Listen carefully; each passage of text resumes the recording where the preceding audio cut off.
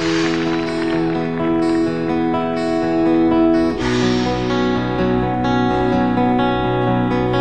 weeks away feels like the world should have changed, but I'm home now, and things still look the same. I think I'll leave it till tomorrow to unpack, try to forget for one more night that I'm back on my flat on the road where the cars never stop going.